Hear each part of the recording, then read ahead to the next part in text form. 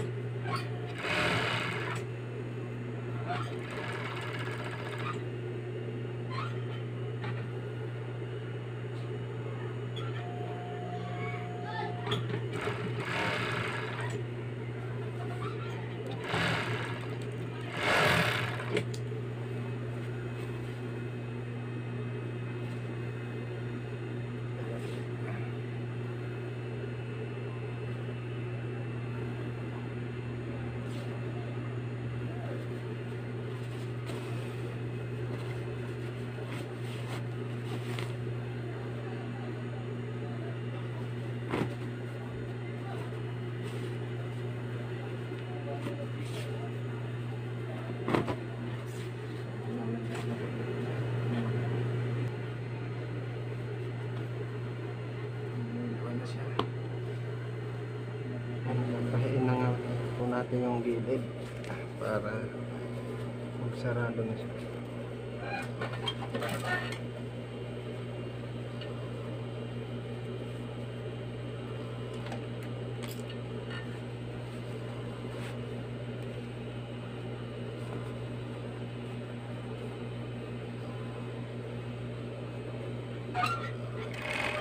Tapos na